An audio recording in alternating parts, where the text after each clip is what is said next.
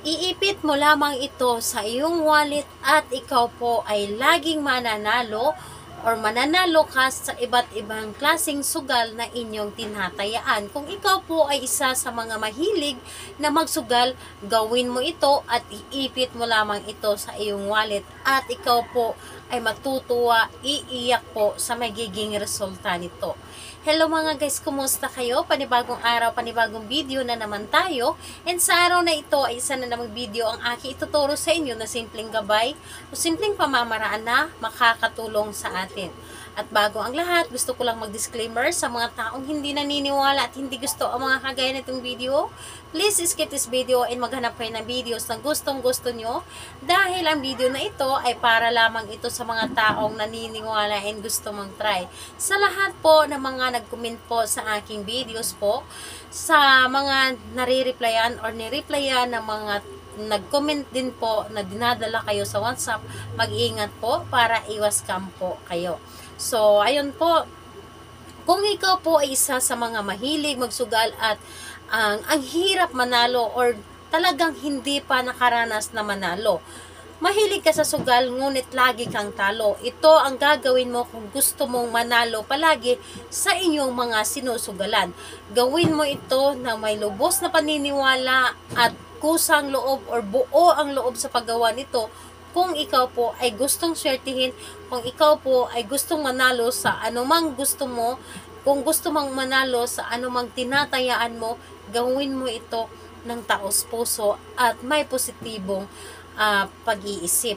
Dahil dito, kailangan natin dito na positive ka upang mas mabilis mo itong mapagana at talagang mananalo ka dito. Dito po ay isa din po ito sa mga nakakatulong sa akin na lagi po akong nanalo sa sa sugal, sa mga, ayan, sa mga sweltres.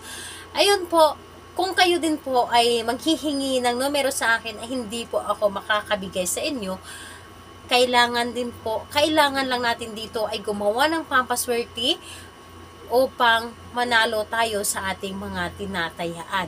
So dito kahit sino po ay pwedeng gumawa nito, ang importante lamang ikaw ay naniniwala sa mga ganitong pamahiin at lubos ang uh, paniniwala dito. So, ngayon, ang kailangan natin dito na gagamitin sa paggawa ng ritual or pampaswerte na ito is kailangan natin dito ng kailangan natin dito ng bulak. So, ang bulak po ay isa sa magaan or magaan na bagay upang magaan or mabilis tayong manalo. Bulak po. Ito po ang ating kailangan bulak at kailangan din natin dito ng tatlong pirasong clove. So ito po ang clove ay ito ay isang bunga ng kahoy. At nabibili po ito sa mga supermarkets or sa mga online app. Lazada po. Lazada or sa Shopee. So ayan po, ito po ay bunga ng isang kahoy. Ang tawag po nito ay clove. And kailangan din po natin dito ng dahon ng laurel. So, ayan po, kailangan natin dito ng dahon ng laurel. Ayan. So, dahon ng laurel at syempre kailangan natin dito ng marker. Ito po ang mga bagay na ating gagamitin sa paggawa ng ritual na ito upang mabilis tayong manalo or lagi tayong swertihin sa paggawa ng isang ritual. Yes po, isa ito sa mga nakakatulong sa akin upang lagi akong swertihin or lagi akong mananalo sa sugal na gusto kong tatayaan. So, ayun po, kailangan na mag-focus ka at mag-isa ka lamang dito na gumawa at wala pong dapat na nakakaalam. At kung gusto po ninyo para mas mabigyan po energy ang inyong mga ginagawang ritual or pampaswerte, kumuha kayo ng kandilang green. So, ang kandilang green kasi, ito ay optional lamang kung meron po kayo. Pero kung wala kayong kandila, okay na kahit wala itong kandila. Ito ay optional lamang dahil ang kulay green or ang green na kandila, ito po ay nagsisimbolo ng pera na mabilis mong maakit ang pera. So, ayun po, kung wala pong kandila ay okay lamang. Yung green po na kandila optional lamang. Yes po. So ngayon kapag ready ka na and uh, handa ka na na wala pong makaka-istorbo sa inyo, pwedeng-pwede nyo na itong gawin. So, ang unang-una ninyong gawin po dito is kunin ninyo ang inyong marker at ang inyong dahon ng laurel. So ngayon, ang dahon ng laurel, kung ano man yung tinatayaan ninyo na number, isulat po ninyo dito. Ito ay example lamang. Isulat po ninyo sa dahon ng laurel yung number na tinatayaan ninyo. Kahit ilang number po, kung meron kayong minimaintain na number, na numero na inyo tinatayaan, isulat nyo po dito. Pero kung isa lamang, sortress lamang, so ganito lang, isa lang, or yung number lang na minimaintain ninyo ang inyong isulat.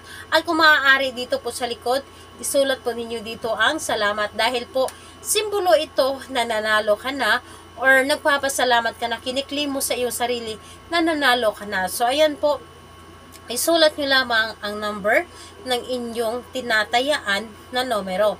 So, ayun po, isulat nyo lamang sa dahon ng laurel at pag, kapag naisulat nyo na ito, pumikit kayo at humiling kayo, hilingin ninyo dito ang inyong pagkapanalo. So, hilingin ninyo dito dapat taimtim, lubos na paniniwala at nanggagaling po sa inyong puso ang inyong mga kahilingan or mga sinasabi. Dapat po ay buo po ang inyong loob sa paggawa nito or buo po ang inyong loob sa paghiling nito. Dapat po maganda ang inyong mga intensyon kapag kayo ay humiling dito sa dahon ng laurel. Ngayon kapag natapos ka ng humiling, ang gagawin mo lamang, yung bulak ninyo dapat po ay medyo malaki. Ilagay mo lamang ito sa ano po, sa loob or sa gitna po ng bulak yung dahon ng laurel. So, dito lamang ninyo ilagay. At pagkatapos nun, kunin ninyo yung tatlong piraso ng clove. So, ilagay nyo din dito. So, bago ninyo siya ebalot, yung dahon ng laurel at clove, humiling kayong muli. Mas maganda na mas maganda na ikulong po ninyo dito sa inyong palad at humiling kayo ng mula sa inyong puso taimtim. Hilingin ninyo dito na lagi kayong mananalo, lagi kayong swertihin, hindi lang sa pagsusugal, kundi sa lahat. So, hilingin nyo lamang dito lahat-lahat ng gusto ninyo. At pagkatapos nun, saka po ninyo ibalot yung clove at dahon ng laurel po dito sa loob ng sa loob ng bulak. So ngayon po pagkatapos nito, kunin ninyo ang inyong wallet at ilagay po doon sa loob ng inyong wallet or iipit lamang ito doon sa inyong wallet yung bulak na ito at asahan ninyo dalhin ninyo ang inyong wallet sa inyong pagtaya at humiling kayo bago pumunta sa mga outlets or bago kayo pumunta sa inyong mga tinatayaan.